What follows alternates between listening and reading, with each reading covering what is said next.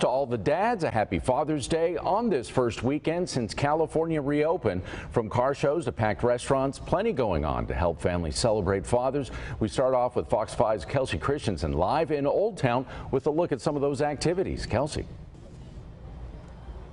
Hi, Jason. Yep, things sure are getting back to normal around here. Uh, that's for sure. Lots of locals and San Diegans and tourists actually out here celebrating Father's Day, and essentially business as is the same as it was on Dad's Day pre-COVID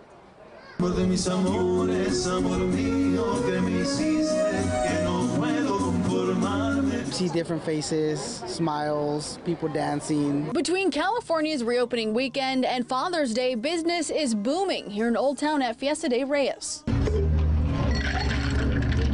So it's been tremendous, and having good weather during this Father's Day is even better. Live music, travel, dancing, and dining are once again a part of Father's Day celebrations.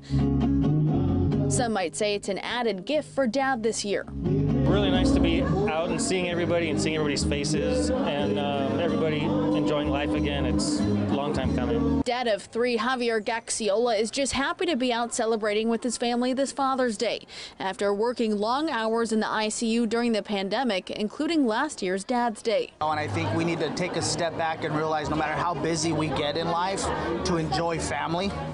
Um, it's, it's really the most important thing, and I think we often take advantage of that, seeing each other every day. So it really brought me back to just realizing what I'm thankful for, what has God blessed me with, and just to enjoy family and friends.